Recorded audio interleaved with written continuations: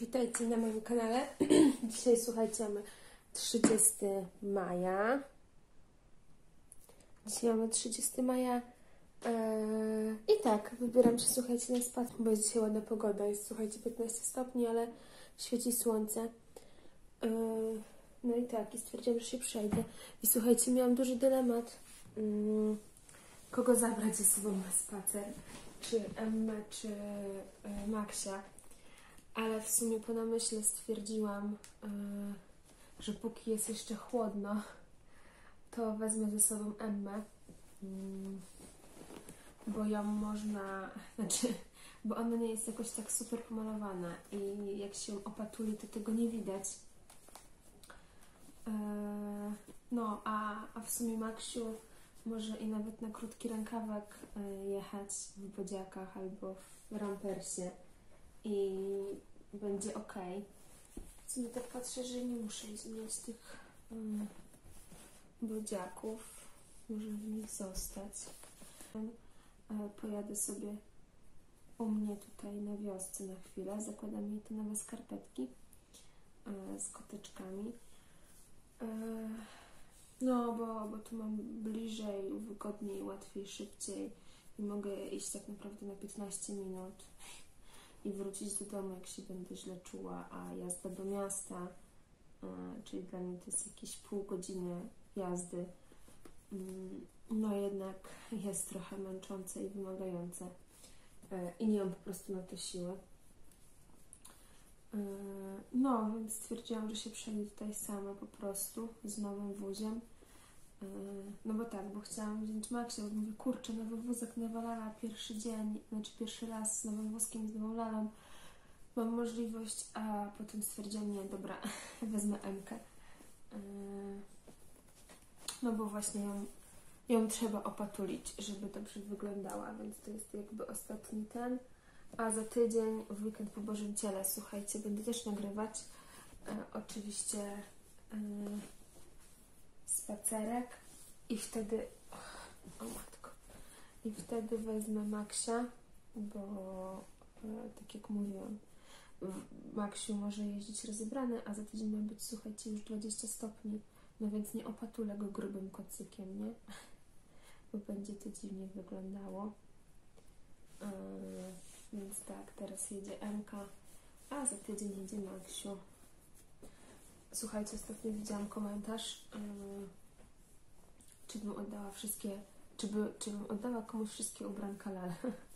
No, skomentowałam to, yy, że rozumiem, że to był żart, no bo nie biorę takich komentarzy na poważnie, bo gdybym miała brać na poważnie, to nie wiem, po prostu to jest bardzo zabawne.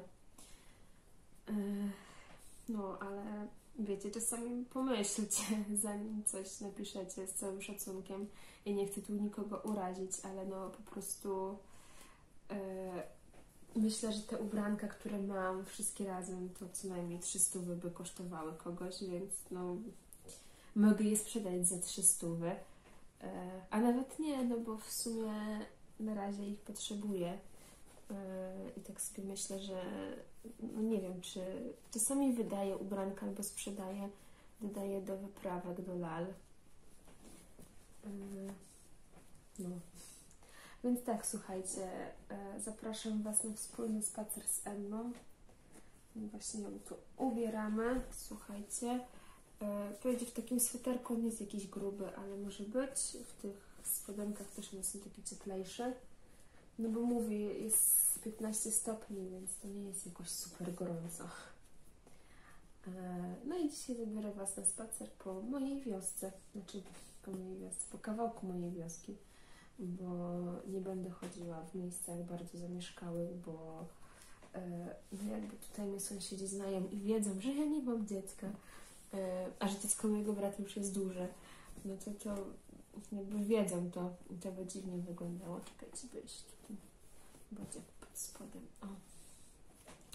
To by dziwnie wyglądało i jakby no nie chcę aż tak, można powiedzieć, paradować z lalą yy, tutaj po znajomych okolicach bardzo, ale gdzieś tam dalej Was zabiorę. No, nie wiem, co mam jeszcze powiedzieć, więc może to tyle. E, przygotowałam tu sobie, słuchajcie, zaraz wam pokażę. Smoczki. Ach, nie wiem, czy to jest w kadrze, czy nie. Czekajcie, zaraz sprawdzę. No, przygotowałam sobie tu smoczki. Mm, zaraz zobaczymy, dopasujemy, który jej tu będzie najbardziej pasował do tego. Najpierw zrobimy tak, najpierw czepeczka. Sobie myślę, że może tą szarą. Właśnie nie mam, słuchać takich przejściowych czepeczek yy, w ogóle. No. Właśnie tak sobie myślałam, że albo w to ubiorę, albo w kombinezon, ale stwierdziłam, że a w sumie no właśnie idzie ciepło i już ten sweterek nie będzie taki ok na pogodę, która się zbliża. Czekajcie, o, zrobimy tak. No i mój pulpecik tutaj leży. On naprawdę jest, słuchajcie, duży. Dobra, i teraz smokuś. Teraz tak się zastanawiam nad smokiem. Może być na magnes. Yy, albo yy, czekajcie, z odciętą końcówką. W sumie mam już jeden tylko chyba. A może dwa. Nie, to na pewno nie. A, a to jest źle. No dobrze, jest magnes. Ale jest za wysoko. Dobra, słuchajcie. No a to jest za nisko, bo to jest, słuchajcie, o. Yy, magnes jeszcze od Mijki i muszę go przerobić. No dobra, to zostają te dwa. Hmm, chyba ten, słuchajcie, nie wiem jak wy myślicie. Albo ten.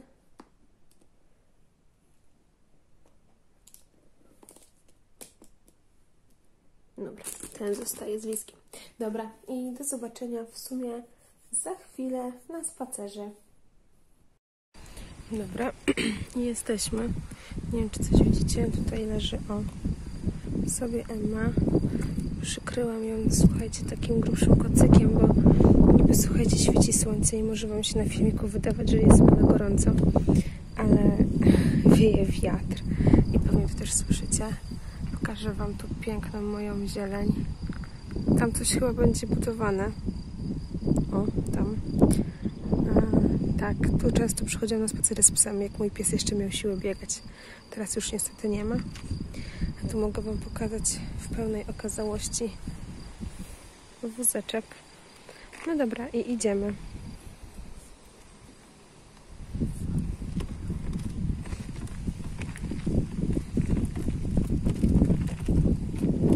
Powiem Wam, e, że super się prowadzi ten wózek jedną ręką bo w jednej mam przecież telefon. Więc tak, tu wziąłem sobie w razie czego, słuchajcie, yy, selfie sticka, który służy mi zestawy w domu, bo mówię, może będzie wygodniej. O, a mi już smoczek wypadł, to niech leży po prostu obok. No i idziemy. Może pokażę Wam drwęce, bo tam jest drwęca. Widzicie, tam prześwituje sobie rzeczka, a my idziemy dalej. Trochę odkryłam Emmę, bo w sumie jest gorąco. Znaczy, jak wiatr nie wieje, to jest ok, a jak e, jest tak, no ciepło, ja mam czarną bluzę, więc słuchajcie, się trochę gotuje już, to musiałam ją chyba zdjąć. E, natomiast jak wiatr zawieje, to jest mega, mega, mega ciepło. A przy okazji, słuchajcie, wytestujemy sobie ten wózek na różnych podłożach. Słuchajcie, powiem Wam, że tak, jedną ręką, rozmawiałam przez telefon, to nie wiem, czy widzicie po dziurach, po żwirku, dałam radę i nie jest źle, tylko no się mocno telepie gondolka, nie? Więc jakby gondola jako gondola nie jest wyamortyzowana. No właśnie, przez te wstrząsy M smoczek wypada. Yy no, bo gondola nie ma takiej amortyzacji, tylko kółka mają. Więc plusem jest to, że da radę nim jeździć. Słuchajcie, po tym muszę mówić ciszej, bo tu są ogródki działkowe i właśnie widzę, że ktoś sobie grilluje, więc nie chcę tam też wzbudzać sensacji. Ale ogólnie jedna ręka takie podłoże, jak widzicie, dajemy radę. Przyznam Wam, że ciężko cokolwiek nagrać, bo co chwilę ludzie jeżdżą e, na rowerach, więc no, jest słabe. E, Tam jest zejście, słuchajcie, na drowence, no ale nie pójdę. Niestety mm, z Emą i z wózkiem, bo to by dziwnie wyglądało chyba jednak. Słuchajcie, tam mi znowu wpadł smok. Zablokowałam kółka do jazdy na wprost i wchodzimy do lasu. Zobaczymy, jak się wózek sprawdzi w terenie trudniejszym, bo na razie jedzie. Nie wiem, czy to widzicie, czy nie, ale jedzie. Nie tak jak tamten, bo nie wiem, czy pamiętacie, jak możecie się cofnąć, albo wam wrzucę e, odsyłacz do filmiku, to z tamtym wózkiem o, był problem, żeby wjechać głębiej do lasu, a na razie tutaj słuchajcie, jakoś nam idzie. Trochę zarośnięte, bo jeszcze chyba nikt tędy nie jeździ w tym roku. Nie wiadomo, jak daleko się przedrę, ale zobaczymy. Spróbujemy zrobić takie fajne kółeczko. Choć tam widzę, że ciężko będzie, bo jest gęstwina.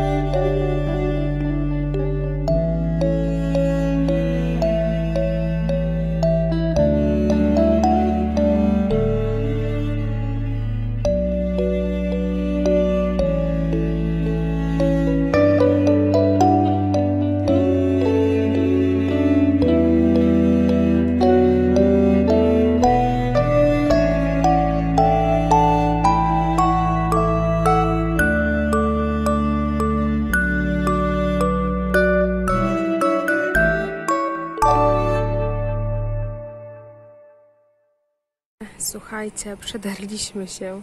Stamtąd przyszliśmy. Przyszłyśmy. A tu jest Emcia. O, teraz mogę Wam pokazać ten wózek. Tak z daleka, z daleka. Tam idziemy gdzieś na polankę. Zobaczymy, czy nam się uda obejść dookoła, bo powinna być droga. To jest jakaś hurtownia, znaczy jakiś fabrykale. Nie wiem co, bo już niedaleko są płatki, słuchajcie, Nestle. A to to nie wiem, co to jest. Więc powiem Wam, że wózek zdaje relację nawet jedną ręką. Był moment, kiedy potrzebowałam dwóch rąk, dlatego też nie nagrywałam, bo była droga pod górkę. Ale tak, to jest nawet, ups, w miarę ok. Czekajcie, byłam konar. Dobra. E, No, więc tylko tyle, że trochę MK wytelepało. Ale zobaczcie, warto było dla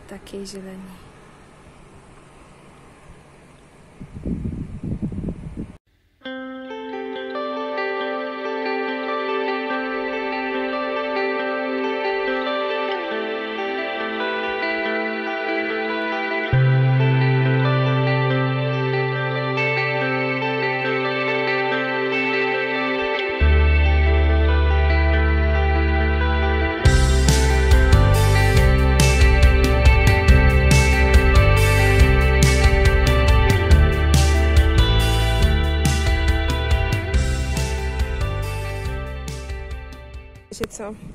Chciałam z Emmą iść tam, ale to jest dość długa droga do, do drogi, więc chyba się nie uda, bo no da radę pchać ten wózek, słuchajcie, po takiej drodze, ale jest naprawdę ciężko mimo wszystko, więc się zastanawiam, pójdę kawałek i zobaczę, czy dam radę, bo jakby sama trawa nie jest problemem, problemem jest taka ziemia, co tu widzicie. Nie wiem, czy ktoś ją tu wywoził, czy to krety, czy coś, nie mam pojęcia. No i to trochę utrudnia przejazd. Minusem, słuchajcie, tego, że to jest tak, tego wózka, jest to, że ten, ta budka jest rozwinięta na maksa I jak idziemy nie pod słońce, tylko mamy słońce jakby ją za plecami, to dziecku czy MC w tym wypadku yy, w twarz i to jest trochę bez sensu. Więc tutaj się muszę zastanowić nad jakimś dodatkową osłonką. No bo tak nie może być, bo ona ma centralnie buźkę na słońcu. Słuchajcie, zrezygnowałam z tej wyprawy tam e, po tej trawie, bo no nie wiem, co mnie dalej czeka, a nie chcę się nie wiadomo jak długo przedzierać sama bez pomocy kogoś, kto mi może przynieść wózek, a się okaże, że tamtędy nie przejdę. Więc wybrałam inną ścieżkę do lasu. E, sobie idziemy po takiej ziemi, słuchajcie. Więc to też jest spoko, bo zobaczymy jak e, wózek sobie radzi na ziemi tym razem. Ale jest w sumie spoko, nawet korzenie nieźle przeteguje, pokonuje. Słuchajcie, i w sumie prawie połowa drogi za nami. Będę powoli wracać do auta, no bo już jest taka godzina, że, że tak, że czas wracać. Yy, zostało nam tam dojście do głównej drogi i potem powrót. Ale przy okazji, słuchajcie, bycia w lesie, yy, powiem Wam dwa rzeczy, dwie rzeczy. Yy, najpierw tą fajną. Nie wiem, czy kiedykolwiek, jak mam nadzieję, że kiedykolwiek było Wam dane być w lesie. To jest po prostu cudowne miejsce, naprawdę. Ja jestem osobą, która nienawidzi robali, nie lubi i itd., itp. I nie to, że się boi, tylko po prostu się brzydzę. Natomiast las jest cudownym miejscem. Można się totalnie, totalnie zrelaksować, słuchajcie. I ta zieleń na filmiku nie jest przekłamana. Ja nie wiem, jakie macie, na czym oglądacie, ale bo zawsze każdy e, komputer czy telefon ma swoje jakby barwy, ale ta zieleń nie jest przekłamana. E, więc tak jak mówię, las jest cudownym miejscem, naprawdę. E, nie wiem, czy kiedyś doświadczyliście tego, jak byliście w lesie. E, takiego, słuchajcie, słodkiego malinowego, ja to nazywam malinowym zapachem, ale to nie jest malinowy, on jest taki po prostu, po prostu słodki. E, I po prostu, i ja to uwielbiam właśnie, uwielbiam to w lesie, ten, ten zapach takiej słodyczy. I jakby pomijając to, że to jest dom dla wielu zwierząt potrzebnych i jakby płuca naszych, naszej planety, e, to tak, to po prostu uwielbiam przychodzić do lasu i się relaksować, właśnie na takie spacery, czy jak mój pies był sprawny, to z psem, teraz z lalą. Ale słuchajcie, boli mnie to. Bardzo mnie to boli. I słuchajcie, tu jest większość szklanych butelek, nie mam niestety worka, słuchajcie, ze sobą, bo gdybym miała worek i rękawiczki, e, to bym je pozbierała. Może przyjadę w przyszłym tygodniu, słuchajcie, to wyzbierać. E, dlatego, że po pierwsze, no, takie szkło czy plastik się nie rozłoży w lesie tak szybko i będzie szkodziło kolejnym pokoleniom mimo wszystko. Po drugie, no ja osobiście nie chciałabym mieć w moim domu takiego śmietnika a to jest jednak dom zwierząt. E, a po trzecie, to jest szkło. I tak jak mówię, nie wiem, czy wiecie, e, że światło, w sensie promienie słoneczne plus szkło równa się pożar. I to jest bardzo słabe. Słyszę, że to jakieś szczęki, łamanie e, tych gałązek. Tu sarenki u nas są, dziki też ale mam nadzieję, że nie spotkam dzika. To by było słabe. Mm, spotkałam pana z psem za to. E, ale tak jak mówię, no nie mam rękawiczek i nie mam worka na śmieci. Nie chcę tego wrzucać pod wózek, bo mój kosz jest nie... E, nie można go zdjąć, by trzeba rozkręcić cały wózek, a wózka chyba się nie da rozkręcić. To są takie specjalne gwinty. E, więc nie wiem, jak dowiem się, jak zdjąć ten kosz, to go zdejmę i wypiorę. Na razie go tylko ozonowałam, więc nie wrzucę tego, słuchajcie, do kosza na wózek, dlatego że pod wózkiem, dlatego że to są popękane też butelki. To po pierwsze. A po drugie, tak jak mówię, nie mogę wyprać. A po trzecie, słuchajcie, mam e, aktualnie bardzo mi pękają mm, ręce po prostu tak do krwi. Mam bardzo przesuszone. Mm, może z racji tego, że często dezynfekuję je, bo pracuję w takim miejscu, że muszę często dezynfekować. Ale po prostu no nie będę brała, bo to jest niebezpieczne brać to bez rękawiczek, zresztą tu jest popękane to szkło i w ogóle, ale e, no myślę, że tu przyjdę i kiedyś je wyzbieram, bo słabo to wygląda naprawdę. I nie chciałabym mieć w pobliżu mojego domu pożaru lasu. A nie wiem, czy to widzicie, ale tak centralnie, tu są drzewa liściaste, ale tu jest już o prześwit i to słońce, tak centralnie, tu jest cień, a tak centralnie pada, słuchajcie, na te butelki. E, więc tak. E, promujcie, słuchajcie, czystość i sprzątanie świata i porządek w lesie, bo no też dajcie znać w komentarzu, jak, jak wy na to patrzycie, czy byście to olali, czy nie.